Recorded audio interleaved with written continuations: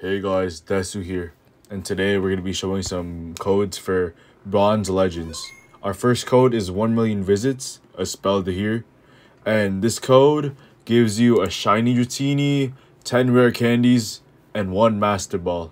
This code is very useful, but you need 2 badges to redeem it, and it expires in like 5 days, so you guys should probably hurry up using that code. Our next code is Road to 20k, as spelled here, uh, what this code gives is 5 Ultra Balls, 7 Max Revives, and 3 Quick Balls. Not the best code, but it's free, so why not use it? Helps you catch Pokemon and play the game.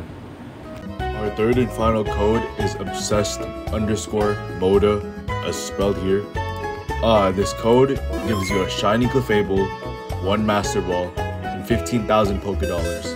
Pretty useful. I'm pretty sure you only need one gym badge for this code, but if I'm mistaken, it's two gym badges and it's going to expire in five days, similar to the other codes.